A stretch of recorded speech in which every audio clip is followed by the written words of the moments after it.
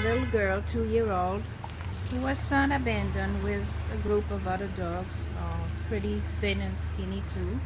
Uh, she's very long nail. It's a very pretty goat. She's she's clean, but she has been very poorly cared for. Look at her nails.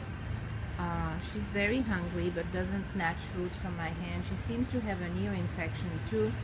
Um, very friendly girl. Uh, had had babies, as you can see. Uh, she comes on the lap. She seeks, you know, comfort and attention. She's sociable. Uh, very sweet, very sweet gal. And um, she has been, I think, released from her hold. I guess they can't find anybody she could belong to, unfortunately, or maybe fortunately.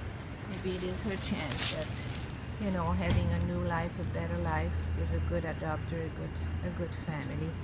And she's a nice little girl. Um, I don't think she has been safered yet, and she will maybe today or tomorrow, if not done already. You can see she is quite thin under her coat. She has absolutely no handling issues. She likes to be petted and smushed and pinched and like to come on the lap. Very sweet, very sweet character. So this is Miss Jayden a little girl, really small girl, uh, a little too thin and poorly cared for, found with a pack of other dogs here at the Manhattan Care Center. Very, very nice and gentle uh, girl, Jayden.